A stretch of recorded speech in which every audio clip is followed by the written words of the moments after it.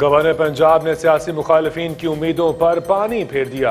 कहते हैं A P C हुकूमत को हिला पाएगी ना ही फौरी इलेक्शन की सदा आएगी।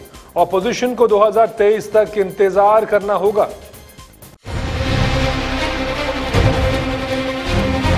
गवर्नर पंजाब से सूबाई बुजरा मोहसिन लगारी सईदुल हसन शाह और पार्टी वफूद ने मुलाकात की है।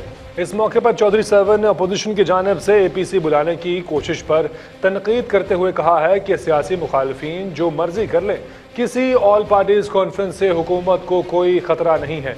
गवर्नर पंजाब ने कहा कि पीटीआई हुकूमत अपनी पाँच साल आइनी मुद्दत पूरी करेगी। उन्होंने कहा कि पाकिस्तान के अवाम हुकूमत जमहूरियत और पार्लियामेंट के साथ मुतहद खड़े हैं और वो हुकूमत मुखालिफ किसी मुहिम का हिस्सा नहीं बनेंगे। चौधरी सहवर ने कहा कि पाकिस्तान को आगे बढ़ने से अब कोई नहीं रोक सकता। उन्होंने अपोजिशन की जानब से कबल अज वक्त इंतबात के मुतालबे पर कहा कि मुल्क में इलेक्शन होंगे और ज़रूर होंगे, लेकिन सियासी मुखालफी को 2023 का इंतज़ार करना होगा, क्योंकि इससे कबल इलेक्शन नहीं होंगे। गवर्नर पंजाब ने कहा कि बिला तफरीक, शफाफ, एहतसाब मुल्क कौम के लिए लाजिम है। पाकिस्तान को ब्लैक लिस्ट करवाने की साजिशें करने वाले नाकाम होंगे और इन Shah Pakistan F A T F के मामले में भी सुरखुरू होगा।